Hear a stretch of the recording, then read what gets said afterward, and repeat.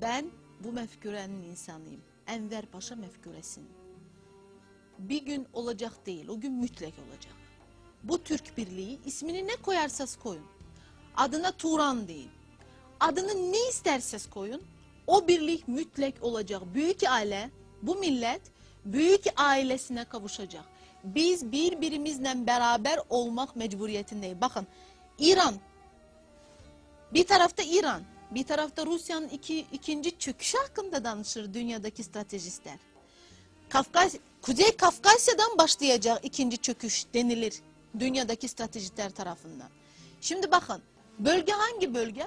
Orta Asya, Merkez Asya, Uzak Doğu, Yakın Doğu, Orta Doğu, işte Kafkaslar. Kim var burada? Esas aparıcı e, figür, enstrüman kim? Türk milleti. O nedenle bu Türk milleti kendi kendine Azeri, Özbek, Kırgız koymaktansa kendim kendine bir dönsün ey büyük Türk. Sen kendine dön. Kendine döndükçe büyük olursan. Orhun Abdeler'in üzerinde yazılmış bu. O nedenle biz kendimize dönmeli, birlik ve beraberliğimizi temin etmeli, büyük güç olmak mecburiyetindeyiz. Neden? Çünkü dünya selamete bizim medeniyetten çıkacak. Ben buna inanıyorum. Ben diyorum ki dünyanın başı bu galmagallardan, bu e, gafletten, bu pisliklerden kurtarmak için 17 defa imp- imparatorluk yaratmış. Gittiği her yerde medeniyet bahşetmiş. Cihan imperyası. Bugün imperya demeyeceğiz adına, imparatorluk demeyeceğiz. Ama bu medeniyet muhakkak ki birlik ve dirliği içerisinde dünyaya çok şeyler sunabilecek. Ben buna inanıyorum.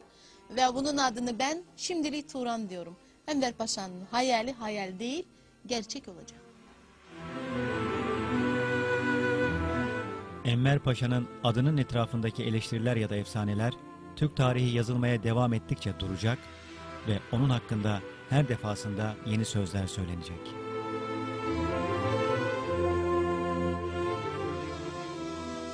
Onun bir hayalperest mi yoksa bir idealist mi olduğunuysa ancak zamanın her şeyi günün birinde ortaya çıkartan büyülü gücü bize ya da gelecek kuşaklara fısıldayacak. Enver Paşa ise Makedonya dağlarından Pamir dağlarına kadar uzanan fırtınalı ülküsünün derin sessizliğinde ebedi uykusunu uyumaya devam edecek.